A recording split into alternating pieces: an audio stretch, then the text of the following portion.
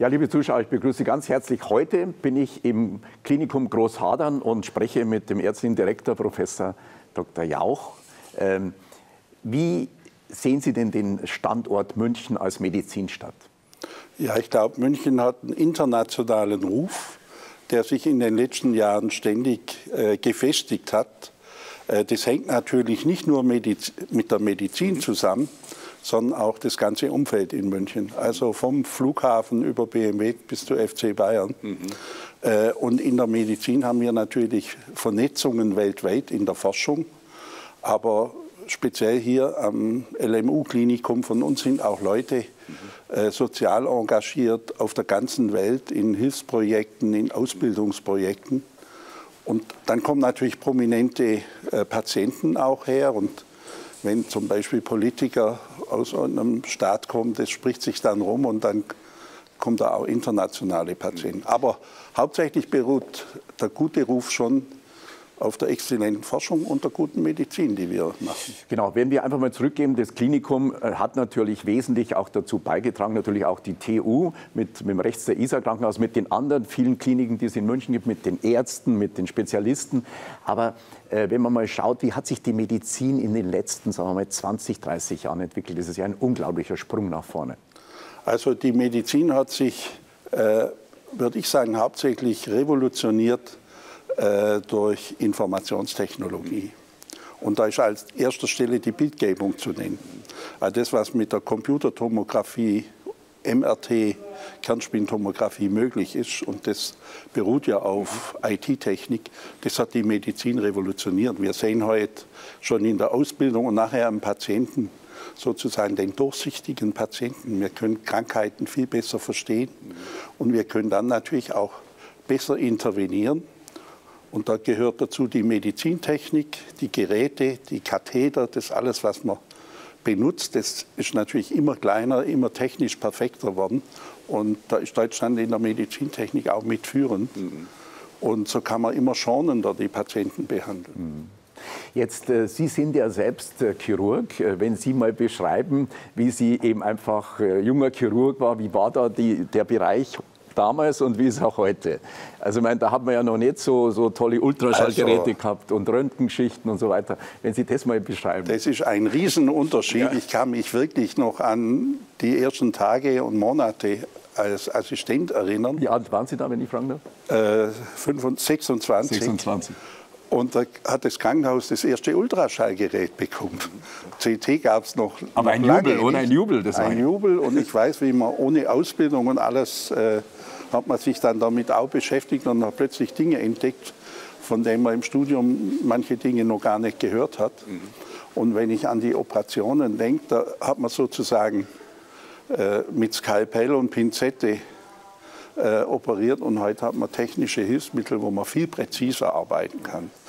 Und um aufs Klinikum zurückzukommen, ja. in unserem neuen OP-Zentrum. Wo, wo ist das jetzt? Äh, das ist hier der, der mittlere Teil. Der ja. mittlere Teil hier.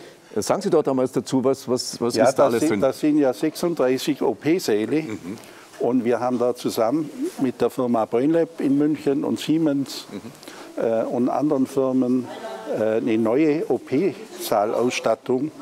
mit Kameras und mit äh, Bildschirmen entwickelt. Und der Operateur sieht auch bei ganz normalen Operationen das OP-Feld vergrößert und sieht Details, das hat man früher nicht gesehen. Da hing es sozusagen am Vorstellungsvermögen, an der Erfahrung, am Talent mhm. der Chirurgen, des einzelnen Chirurgen, wie präzise er alles gemacht hat. Heute sieht man das ja vergrößert wie unter der Lupe. Mhm. Also ich beneide die Kollegen, die da heute operieren und das ist sicherlich noch mal eine Qualitätsstufe äh, ganz anders. Mhm. Und man kann da natürlich nervenschonend operieren. Äh, der Patient kommt natürlich mit der Schlüssellochchirurgie, äh, der kommt viel schneller wieder auf die Beine. Ja, wir machen heute ja viel größere Eingriffe. Wir machen die bei älteren Patienten. Und das Ganze funktioniert, äh, weil wir schonender operiert. Und da ist gar nicht nur das direkte OP-Feld, sondern vor allem das Zugangstrauma ist geringer.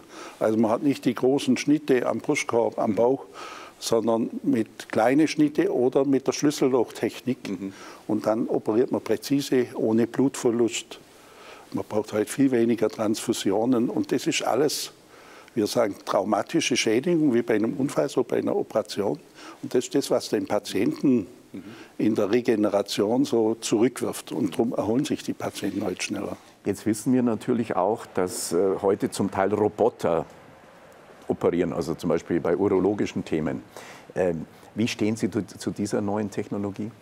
Also die wird mehr und mehr kommen, mhm. weil es einfach in einigen Dingen noch präziser sein wird. Mhm.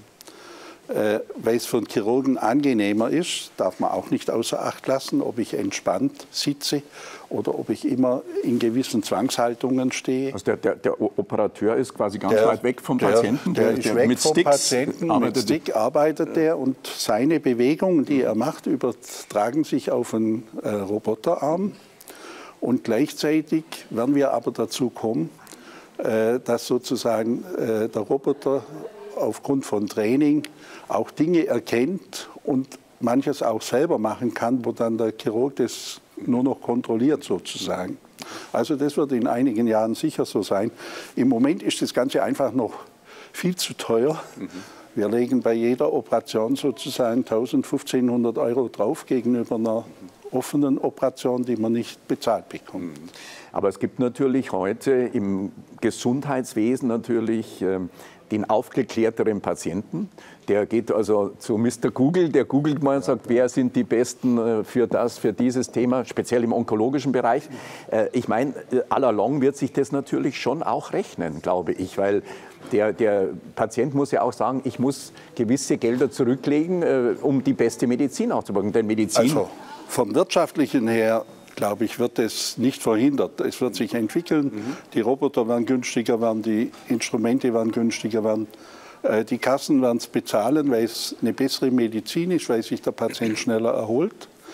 Äh, wo ich mir noch Gedanken mache, ist, äh, wie die Weiterbildung und Ausbildung funktionieren wird. Und ich gehe schon davon aus, in der ganzen Breite wird der Roboter in der Chirurgie sich nicht durchsetzen, mhm. sondern es wird auf Zentren und mhm. auf einen Teil der Chirurgen äh, sich beschränken, weil da muss jeder speziell trainiert sein und das kann man nicht einmal machen und dann nach einer Woche wieder, sondern da muss man intensiv im Training bleiben. Jetzt, äh, ich frage jetzt einfach mal so als, als Laie, aber wir reden ja immer mehr über Hightech-Ärzte, also Hightech-Medizin. Ähm, wie, wie, wird denn das zum Beispiel an den Universitäten im Studium, wird das, wird das schon gelehrt oder wird das getrennt zwischen Medizin und eben einfach nee, nee, die das, Möglichkeiten? Das kriegen die Studenten im Studium schon mit. Äh, sowohl in der ganzen Bildgebung, früher musste man ja alles an, an Leichen und Präparaten sozusagen, das äh, lernt man heute schon viel in der Schnittbildgebung, CT, MRT, dann im Ultraschall, die Studenten machen einen Ultraschallkurs und sie lernen bei uns auch, äh, können sie sozusagen an so Trainingscomputern mhm. äh, arbeiten. Wie ist das, wenn man eine äh, Schlüsselloch-OP macht, das können die Studenten schon auch mhm. im Praktikum äh, und im Kurs während dem Studium erlernen. Mhm. Wenn wir einfach mal so über, den, äh, über die Medizinstadt München reden, da spielt äh, dieses Klinikum eine doch ganz wesentliche Hauptrolle, muss man mal sagen. Äh, wenn man mal schaut, sind wir denn in der Weltklasse da am Vormarsch oder sind wir schon so weit, dass wir sagen, äh, die, die Medizinstadt München, man, man, sieht es ja, es zieht immer mehr Medizintouristen nach München, äh, die, die, die kommen einfach eingeflogen und lassen sich einfach hier äh, behandeln. Äh, wie, wie, wie, sehen Sie da, wo steht da München als also Medizinstadt? Ich glaube, dass äh, Deutschland und an der Spitze München äh, von der Medizin ganz vorne steht. Äh, Im im Durchschnitt, aber auch in der Spitze sind wir mit vorne. Der, Im Durchschnitt ist Deutschland sowieso, glaube ich, medizinisch vom Spektrum von den großen Ländern ganz vorne. Äh, und wir sind für viele, wir sind immer noch die kostengünstigsten in der Medizin. Ja, wir Deutschen sind ja so veranlagt, dass wir was perfektionieren und ökonomisch. Äh, da wird der Druck schon zu hoch intern, aber für, auf internationaler Ebene können wir zeigen, dass man Spitzenmedizin auch zu akzeptablen Preisen machen kann. Und äh, München hat in allen, in allen Disziplinen inzwischen, glaube ich, weltweit einen Spitzenruf. Mhm.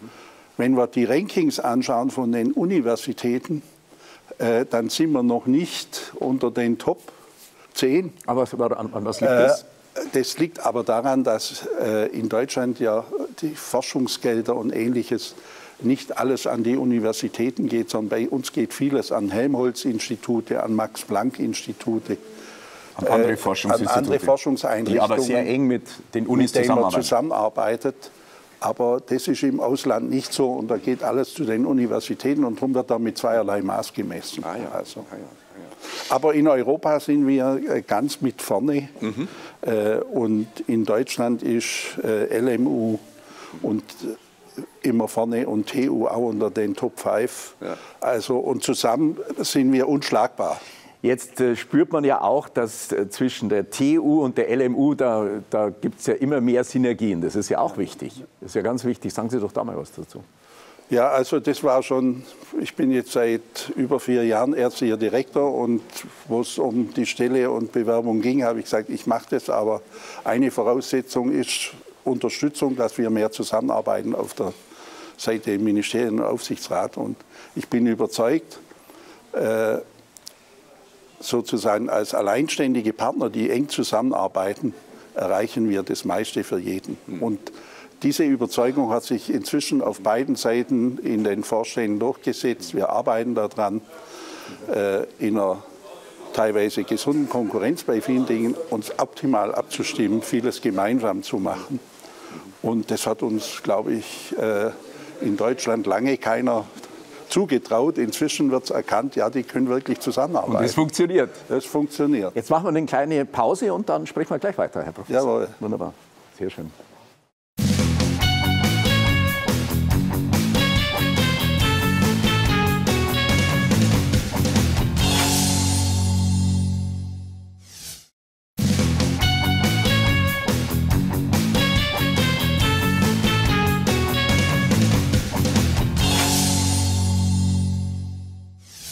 Ja, Herr Professor Jauch, ähm, lassen wir uns mal einfach so ein bisschen äh, auf uns, auf dieses Klinikum ein. Also äh, wie viele Ärzte haben Sie denn da? Ja, wir sind etwas über 1500 Ärzte, von denen natürlich viele auch in der Forschung aktiv sind, aber äh, ein Großteil ist schon in der Klinik ganz aktiv. Mhm. Was bedeutet denn das für Sie jetzt als ärztlicher Direktor? Das ist ja unglaublich, was Sie da für, für eine Verantwortung tragen. Aber auf der anderen Seite, wie, wie organisiert man so, so eine große Klinik? Wenn Sie einfach da mal was dazu sagen. Naja, das Entscheidende äh, an den Kliniken sind die Chefs, mhm. dass man die richtigen Chefs äh, hat mhm. und die ihre Klinik äh, führen. Und der Vorstand ist dazu da, äh, möglichst gute Bedingungen für die einzelnen Kliniken für die Chefs zu bieten, dass die sich entfalten können. Die, haben, die sind ja an der Materie direkt dran, die wissen, wie sich das Fach weiterentwickelt. Äh, und äh, wir müssen die unterstützen. Und meine Aufgabe ist die, jenseits der einzelnen Kliniken das Zusammenspiel der Kliniken zu optimieren. Wie machen Sie das? Ja, man muss äh, es gibt ja immer verschiedene Möglichkeiten. Man muss Anreize schaffen. Naja. Man Oder muss auch Menschlichkeit fördern, und Menschlichkeit. Man muss, äh, wenn wo was nicht optimal funktioniert, mit den Leuten reden. Und ich sage dann immer auch, man muss sich im positiven Sinn zusammenraufen. Also man muss es auch mal äh, sich lassen. die Meinung sagen und krachen lassen ja, genau. und dann sagen, okay, äh, wir vertragen uns und wir machen das in Zukunft so und so und haben beide was davon. Ähm, ich habe gestern eine Radtour gemacht mit einem ähm, Pfarrer, mit Dekan Teil. Und während des Radfahrens hat er mir erzählt, er war kürzlich bei Papst Franziskus. Und dann hat er die Möglichkeit gehabt, ihn zu fragen, was, was denn so sein, seine Richtung ist. Dann sagt er, ach wissen Sie, mir geht's gut. Äh, ich habe mich entschieden, meine ganze Energie in positive Beziehungen zu bringen. Das finde ich großartig. Und ich glaube, das sind auch Sie. Also, also das, ist, das ist ganz entscheidend. Da muss man aber immer bei sich selber anfangen. Natürlich. Dass man sich nicht durch äh, Ärger, und viel Ärger kommt natürlich hier an, dass man den Ärger abprallen lässt und in positive Energie wieder zurückbringt.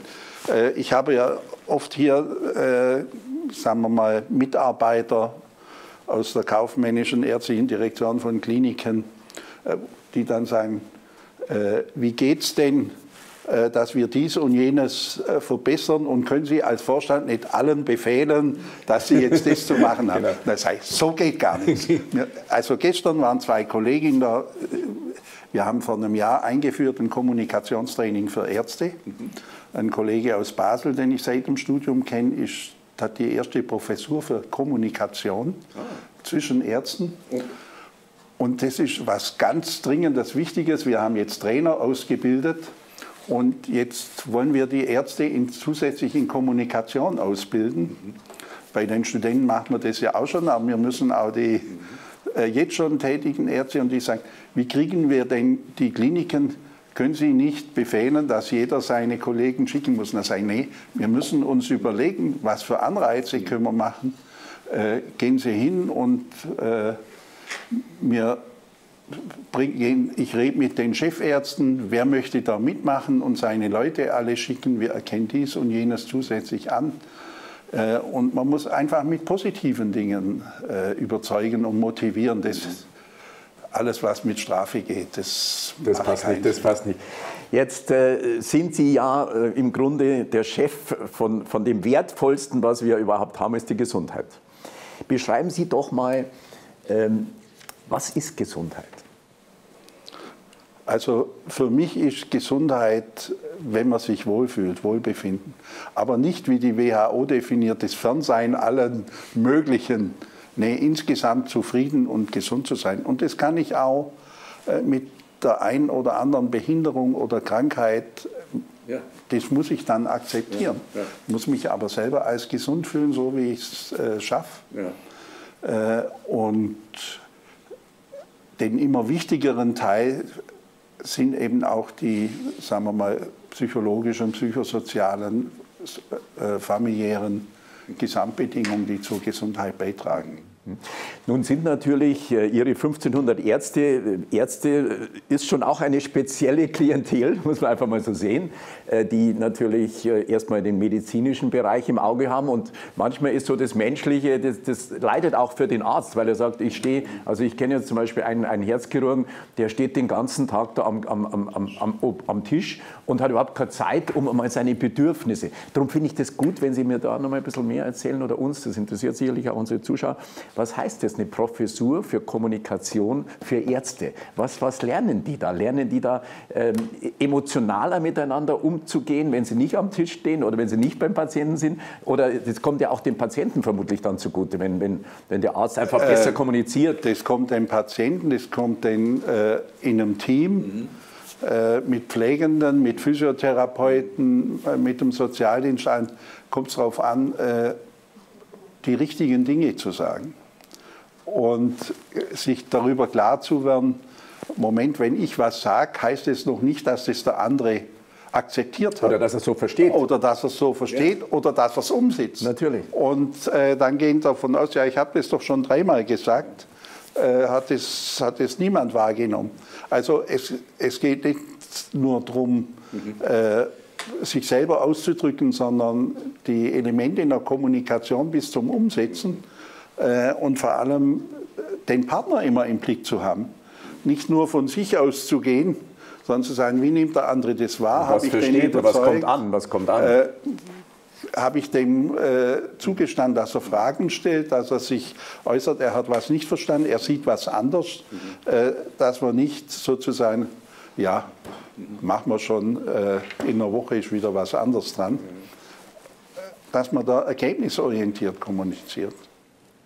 Groß, Großklinikum äh, Großhadern hat 48 Kliniken, 2000 Betten, 3400 Pflegekräfte. Das ist ja schon ein Mordsladen. Ja, also Sie sind ja gut, gut, informiert. ja, ja. Aber jetzt, äh, wie wichtig ist denn der Arzt am Bett? Also es gibt ja Ärzte, die sind super am, am Tisch, am OP-Tisch, aber am Bett sind sie nicht so gut, weil am Bett wird ja auch viel Gesundheit transportiert zum Schluss. Ja? Also äh, der Arzt-Patienten-Kontakt ist natürlich das Wichtigste an einem ganzen Klinikum. Der Patient ist wirklich im Zentrum unserer ganzen Anstrengungen und das ist jeden Tag bei jeder Visite, äh, bei jedem Gespräch so. Und äh, da kommt es natürlich darauf an, jeder Arzt geht auch etwas anders mit Patienten um. Und jüngere Ärzte müssen das lernen. Und äh, für mich ist das eine der größten Herausforderungen, wenn ich einen Wunsch hätte, einer der größten Wünsche, dass äh, sozusagen die Bereitschaft, äh, Dienstleistung am Nächsten zu machen, an jedem Nächsten, äh, immer wieder in den Blickpunkt rückt. Weil da haben wir schon auch immer mal wieder unsere Beschwerden, dass äh, der Umgang, Interaktion mit Patienten schlecht war. Im ärztlichen Bereich, im pflegerischen Bereich, wo auch immer. Das kann man zum Teil verstehen, weil heute das alles unter einem enormen zeitlichen Druck ist, Arbeitszeitverdichtung, es wird nicht genügend Zeit fürs Gespräch genommen. Äh, und da spielt die Kommunikation natürlich auch eine Rolle, äh, dass ich lerne, richtig zu kommunizieren, dass ich auch äh, erstmal den Patienten zu Wort kommen lasse, was ist dem wichtig, was liegt ihm auf dem Herzen, dass ich dazu bringe, sich zu öffnen und äh, nicht immer um einen heißen Brei rumreden oder selber fürchte, ich möchte die schwierigen persönlichen Dinge gar nicht an, ansprechen, weil ich will mich gar nicht so in das Private hineinlassen als Arzt. Also ähm, auf der anderen Seite, Herr Professor Jauch, äh, glaube ich schon, ist es wichtig, dass man nicht nur immer wieder den Patienten sieht, sondern den Mensch. Und die Kommunikation zum Patienten ist äh, bei manchen Ärzten eben vom Arzt zu Patient und nicht vom Arzt zu Mensch oder umgekehrt. Auch, auch der Patient sagt, ähm, irgendwie habe ich vielleicht nicht den Draht zu dem Arzt jetzt, aber, aber er, er hilft mir ja oder, oder er, er, er, hoffentlich hilft er mir. Also diese Ängste, die, die man ja auch nur zwischen Menschen irgendwie abbauen kann. Und wenn man sagt, ja, passen Sie mal auf, und Sie müssen ja auch gerade in Ihrem Klinikum manchmal auch ähm, harte Gespräche mit Patienten führen, gerade im onkologischen Bereich, wo man sagt, schauen Sie, äh, wir haben jetzt die und die Möglichkeit, Sie, Sie müssen unterscheiden, wie viel Hoffnung kann ich dem, dem Patienten oder dem Menschen geben und, und, und wenn ich ihm zu viel Hoffnung gebe, dann, dann ist es auch nicht, nicht in Ordnung, sondern ich muss ihm einfach irgendwo, muss ich ihn auf die Wahrheit bringen. Und da ist es schon wichtig und das stellen wir halt auch immer wieder fest, also auch bei mir in der Akademie, wir machen ja viel mit Motivationsforschung, dass eben die sprechende Medizin manchmal sehr fokussiert fokussiert ist auf Arzt-Patient und nicht Mensch-Mensch. Weil der Mensch, der Arzt ist ja auch ein Mensch. Ja? Und wenn, wenn der einfach mal liebevoll sagt, schauen Sie mal, das kriegen wir hin, oder wissen Sie, wir müssen jetzt einfach, was auch immer, einen, einen harten Eingriff machen und, und, und der Patient macht oder der Mensch macht ja damit, wenn er einfach auch merkt, das ist irgendwie von Mensch zu Mensch. Also ich glaube, das ist wichtig und da gehört auch dazu, dass wir sich zum Patienten hinsetzt, dass man nicht als stehender Arzt von oben herab mit ihm redet. Oder auch mal aufs Bett setzt. Sondern oder? dass man sich einen Stuhl nimmt und neben sitzt, ja. dass man einen Patient anfasst. Auf Augenhöhe. Äh, viele, viele Kollegen fassen heute Patienten nicht mehr an. Mhm. Also auch mal berühren oder so. Wenn ich nur berühre, das ist eine andere Situation, wie wenn ich nur rede. Sehr gut. Äh, da kommt natürlich gleich die Hygiene. Man darf sich nicht aufs Bett setzen, man äh, muss sich dann die Hände desinfizieren. Aber es ist extrem wichtig. Viele Patienten vermissen diesen persönlichen, diesen direkten Kontakt. Und da reicht es, wenn man sich die Hand gibt, wenn man auch Kommunizieren ist Oder auch mal, Namen wenn, man, sagt, wenn sagt. man zwei Minuten hinsitzt und nichts redet und, ja. und nur, nur Fühlung, dass das Gefühl da ist. Jetzt lassen Sie uns doch mal über äh, ein Sorgenthema kommen, und zwar äh, die Stadt München ist eine, hat eine wunderbare Infrastruktur. Sie können nicht, von hunderten Ärzten auswählen, der, jenes. Es gibt tolle Ärzte. Aber der Arzt alleine ist es ja nicht, sondern es braucht auch äh, die Schwestern, die Krankenschwestern, die, die, die, die Reinigungskräfte etc. Und die haben natürlich, die sehen München natürlich aus einer anderen Perspektive. Und zwar, das Portemonnaie ist schneller leer, als der Monat endet. Ähm, sagen Sie doch da mal was dazu. Das ist ja auch Ihr spezielles äh, Sorgenkind, wo Sie sagen, da müssen wir was tun, da, da muss auch die Politik ran, da, da, da muss einfach mal wirklich Tacheles geredet werden. Also es ist schon in der Politik angekommen, es ist in der Öffentlichkeit ein Thema, aber die Tragweite vom Ganzen wird noch nicht wirklich so wahrgenommen. Es wird dann mehr über Pflege, Altenpflege und ähnliches, wo äh, massive äh, Engpässe sind. Aber im Kliniksektor, und das betrifft nicht nur unser Klinikum, sondern viele Kliniker, äh, da ist der Pflegepersonalsituation für mich das Risiko Nummer eins für das Gesamtklinikum. Unsere Leistungsfähigkeit wird maximal gefährdet durch, durch den Pflegenotstand, den wir zum Teil schon haben und der sich abzeichnet, äh, nicht besser zu werden. Und um da wirklich äh, nachhaltig und dauerhaft eine Besserung zu erreichen, müssen wir sicherlich auf der einen Seite auch auf ausländische Pflegekräfte zählen, aber wir müssen vor allem die Lebenshaltungskosten, die Wohnungen, äh, Mietkosten für Mitarbeiter in diesen Berufen in der teuren Stadt München äh, so gestalten, dass der Arbeitsplatz attraktiv bleibt. Und die jungen Schwestern nicht wegziehen, wenn sie Familien gründen wollen oder so, wo sie sich München nicht mehr leisten können. Und gerade das Pflegepersonal ist ja so wichtig auch beim Gesundheitsprozess. Also so eine Nachtschwester, da, da ziehe ich einfach den Hut, äh, die, die einfach, ja, einfach motiviert ihren, ihren Job macht und, und wirklich für, für, für wenig Geld. Ähm, wieso kommt es bei der Politik nicht? Was sagt denn der Herr Spenle dazu? Also, meine, das ist doch, das ist doch, da müssen doch die Alarmglocken läuten. Naja, wir melden das schon immer und wir äh, müssen bei uns dringend unsere Pflegewohnungen sanieren und neu bauen. Wir haben, äh, ja, das Klinikum hat 2000 Apartments, aber 80 Prozent dieser Apartments sind Einzimmer-Apartments äh, mit 23 Quadratmeter. Das ist halt nicht mehr ein, ein Zustand, den man einer Pflegekraft, den kann ich einer Schülerin zumuten für zwei, drei Jahre, aber nicht einer Pflegekraft als äh, dauerhaftes Apartment. Äh, da müssen wir was tun. Die Pflegenden, die sind wirklich engagiert, voll dabei, die sind halt extrem gefordert die müssen dann auch in eine private Umwelt kommen, wo sie sich wohlfühlen, dass sie sich wieder erholen, dass sie ihre Kräfte schöpfen, äh, dass sie positiv äh, aus dem belastenden Alltag äh, sozusagen neue Energie kriegen. Ja, Herr Professor Jauch, äh, wo nehmen Sie denn die Energie her? Weil das ist ja schon Ihr spezielles Thema, auch zu sagen, ich muss einfach auch äh, an den richtigen Stellen einfach mal wirklich die, die Alarmglocken läuten lassen, dass wir eben einfach fürs Pflegepersonal, äh, dass wir da einfach mehr auch ja, Mittel bekommen. Ja, da geht es nicht nur um Energie, da geht es die richtigen Hebel zu finden und da geht es uns wie vielen Leuten, wenn sie mit Ämtern zu tun haben, dass man von Pontius zu Pilatus geschickt wird, ja. äh, Finanzministerium, äh, Wissenschaftsministerium, die Stadt, wo kann man welchen Weg gehen und da gibt es überall Regularien, die uns sagen, warum geht dies oder jenes nicht. nicht ja, genau. Und wir sind dran, da einen Weg zu finden, dass wir... Das ist ein Marathon. Ja. Das ist ein Marathon. Ja. Jetzt äh, frage ich Sie mal, äh, München ist ja ein Magnet für Medizintouristen. Da gibt es natürlich auch äh, logischerweise äh, Wohnungen, die vermietet werden, was, was einfach nicht seriös ist, aber über das, das wäre eine eigene Sendung mal.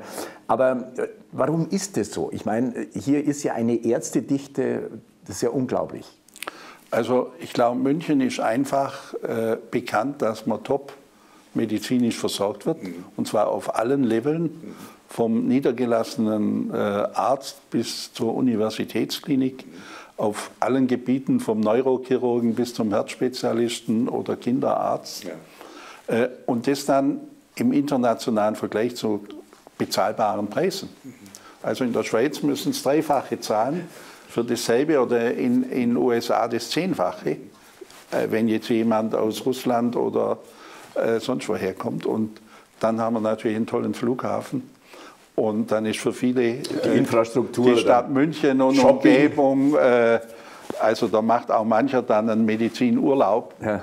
äh, beziehungsweise bringt unter Umständen Angehörige mit.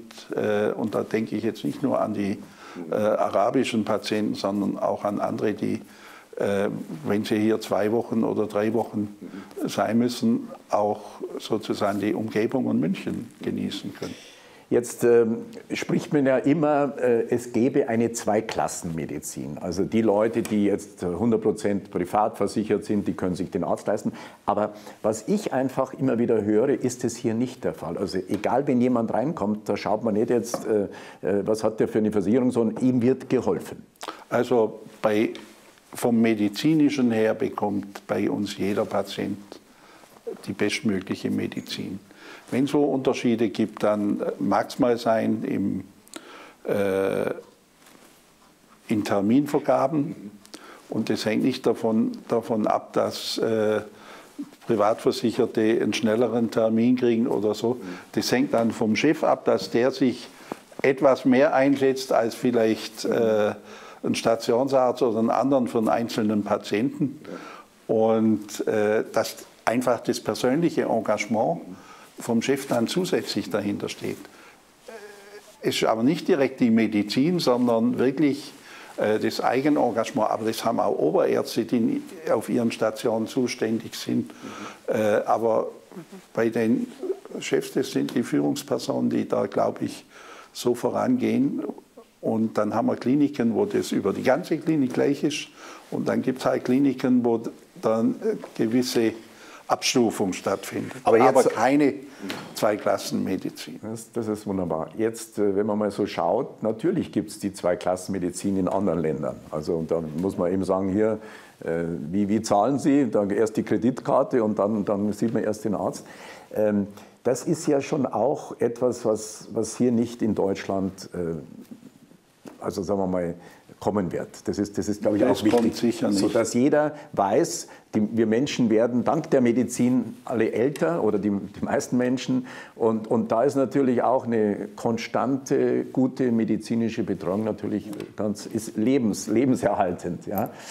Ähm, jetzt drehen wir doch mal, Sie haben in 2016 haben Sie 10 Millionen Gewinn gemacht. Äh, nee, wir haben äh, Betriebsergebnis. Ja, Betriebsergebnis, aber wirklich ein Gewinn sind nur 600.000. Ah, okay. Aber das Betriebsergebnis äh, war äh, Betriebsergebnis war positiv. Macht Ihnen das auch manchmal Sorgen, wenn Sie sagen, Mensch, äh, das Betriebsergebnis sollte positiv sein oder klammern nee. Sie das aus? Also äh, wir sagen, und ich sage das auch zu den Chefs, wir brauchen nicht nur Betriebsergebnis, sondern wir brauchen einen höheren Gewinn, weil wir denn alles investieren wollen in neue Geräte, in neue Möglichkeiten, neue Techniken. Wir sind ja nicht eine Klinik, äh, die dann an Shareholder, Aktieninhaber, Eigentümer was ausschüttet, sondern was bei uns Gewinn ist, geht alles wieder ins Klinikum, äh, in neue Ausstattung, dass wir immer die top neuen Geräte haben, die besten Möglichkeiten oder in auch in Forschung und Ähnliches. Inwieweit partizipiert da auch, sagen wir mal, Ihr Großklinikum, dass es eben Siemens am, am, am gleichen Standort gibt? Siemens ist da schon, auch, oder Philips, äh, diese europäischen Medizingiganten, die, die sind schon auch wichtig, glaube ich. Also, äh, wir arbeiten viel mit den medizintechnischen Firmen zusammen, weil wir einfach auch viele Entwicklungen gemeinsam machen. Ich habe es vorher gesagt, wir haben mit BrainLab äh, da waren aber vier Firmen beieinander, Siemens, BrainLab, mhm. Queston ist eine schwedische Firma, Video- und, und Tontechnik, Firma Trumpf, die machen OP-Tische, haben wir Pro Projekte zusammen gemacht. Wir haben mit Siemens immer sehr oft äh, bei der Entwicklung von neuen Geräten, wo wir oder auch rechts der ISA oder auch mal Erlangen diejenigen sind, die die den ersten Probetyp auch die Treiber äh, ja. bekommen ja. und dann da auch die Protokolle erarbeiten, wie finden Untersuchungen statt. Und speziell bei Siemens kann ich schon sagen, äh, wir sind das Klinikum, mit dem Siemens die meisten Entwicklungs- und Forschungsprojekte hat. Äh, und das hängt natürlich an den ärztlichen Kollegen bis hin zu Physikern die da in der Entwicklung mit sich Jetzt, Herr Professor, Sie sind wir ja... Wir kriegen aber nichts umsonst. also die Zeiten, wo dann Siemens sagt, wir stellen euch ein Gerät hin, oder das geht ja heute äh, überhaupt nicht mehr. Und wenn wir Geräte äh, ausschreiben, wir müssen dann EU-weit ausschreiben, dann haben erstmal alle dieselben Startbedingungen. Aber in den Kooperationsprojekten hat man sehr viel gemeinsame Interessen. Großhadern investiert. Äh, wie, wie schaut Großhadern in den nächsten fünf Jahren aus? Äh, ich habe lernen müssen, dass es im Bau nicht so schnell geht, wie man sich äh, vorstellen möchte und wünscht. Aber wir haben eine klare Vorstellung mit der Neubaukonzeption. Wir haben jetzt einen Bauantrag, den das Ministerium gut geheißen hat, für den ersten Teil vom Neubauabschnitt, wo wir ein Herz-Lungen-Gefäßzentrum, also wo wir alle Disziplinen, die mit Herz und Lunge zu tun haben, äh, in einem Gebäude haben, von den Betten über Intensiv, Ambulanzen, Funktionsdiagnostik. Und dann haben wir ein Gebäude, onkologisches Zentrum, wo die onkologischen äh, Kliniken und Schwerpunkte zusammenkommen. Und dann noch zusammen mit der LMU, da bin ich ganz stolz drauf, dass wir das geschafft haben, mit der LMU gemeinsam ein Institut zu bauen, wo die äh, diagnostischen Bereiche äh, Virologie, Bakteriologie, Labor, Transfusion, äh, Immunologie und, und Genetik zusammenkommen in einem Gebäude, um die Interaktion zwischen Forschern und Klinikern noch enger zu machen. Jetzt äh, sind Sie ja äh, selbst ein wirklich äh, fantastischer Chirurg. Haben Sie mal wieder Lust, auch mal wieder also, mit der neuen Technologie? Ich, ja, da versuche ich möglichst selten in OP zu kommen, weil wenn ich im OP bin, dann, dann juckt schon, äh, Dann juckt es, aber ansonsten fällt mir das nicht. Mhm. Was mich freut, ist, dass ich immer noch Patienten habe, die immer mal wieder kommen. Mhm. Aber Sie operieren noch, oder? Ich operiere nicht mehr. Aber, aber Sie, Sie aber ich vermittle noch das eine oder das andere oder bin auch sozusagen äh, engagiert in, in Asien, Afrika, um äh, Wissen weiterzugeben. Aber ich operiere auch dort nicht mehr. Ich stehe mit am Tisch und ich gebe Tipps und Erfahrungen weiter, aber ich operiere nicht mehr. Jetzt äh, ist ja äh, München wirklich äh, fantastisch logistisch vernetzt. Äh, äh, der ganze Bereich, wenn jetzt wirklich ein Notfall auf, auftritt. Äh, sagen Sie doch da, mal, da was dazu, wenn man jetzt die 112, also jetzt wird jemand ohnmächtig, äh, jetzt geht es ja sofort drum, jetzt kommt da ein Notruf auch bei Ihnen im, in, der, in der Notaufnahme an, dann wird schon vorab geklärt, was, was könnte sein, wie, wie, geht also, das? Ich glaube, da sind wir in München äh, Paradebeispiel, wie man sich organisieren kann. Und da hat die LMU zusammen mit dem Innenministerium Schrittmacherdienste gemacht. Wir haben seit äh, 20 Jahren jetzt ein Institut für Notfallmedizin, Medizinmanagement. Und die koordinieren und entwickeln die ganzen Szenarien für äh, Notfallmedizin, für Massenunfälle, für erste Rettung. Und es gibt in München einen, einen Plan, wie werden bei 100, bei 200, bei 300 das verteilt. Verletzten, wie werden die verteilt? Und den hat unser Institut mitentwickelt mhm. äh, oder federführend entwickelt. Äh, und äh, ob jetzt beim G7-Gipfel, bei der Fußball-WM oder was auch immer mit Großereignissen sind da äh, sind auch diese Bereitschaften da. dargestellt. Oder wenn Sie äh, zurückdenken an das Zugunglück in Aibling, äh, da hatten wir, oder beim dem, äh, von einem Jahr, Amoklauf. bei dem Amoklauf, da hatten wir dann innerhalb von einer Stunde immerhin zwölf OP-Mannschaften äh, und 20 Intensivbetten mobilisiert. Werden die auch zu Hause angerufen, wenn die nicht da sind? Ja klar, das, das ist, geht, automatisch alle, alle die Telefonanrufe durch. Und also da sind wir gut aufgestellt. Gut aufgestellt, muss Sehr man schön. sagen. Jetzt, äh, wir sind schon fast am Ende der Sendung. Äh, jetzt frage ich Sie mal etwas, was würden Sie denn äh, dem bayerischen Ministerpräsidenten, der jetzt anstelle von mir Ihnen gegenüber sitzen würde, der ja auch das Klinikum sehr schätzt, wenn Sie sagen, Sie haben da so einen Wunsch, was würden Sie ihm da sagen? Ja, ich würde ihm sagen, er soll uns volle Rückendeckung geben mhm. bei den Bauplanungen, bei den Bauprojekten mhm. und er soll uns helfen, dass das Finanzministerium uns ermöglicht, Personalwohnheime zu bauen. Sehr schön. das, ist, das ist doch ein schöner Schluss. Liebe Zuschauer, das war's schon wieder. Ja, diesmal sind wir gewesen im Großklinikum Großhadern hier. Professor Jauch, der ärztliche Direktor. Und Sie haben es gesehen, also der ist nicht nur ein toller Arzt, sondern auch ein toller Mensch. Wir sehen uns wieder beim nächsten Le Jeune Talk. Bis dahin noch eine schöne Zeit.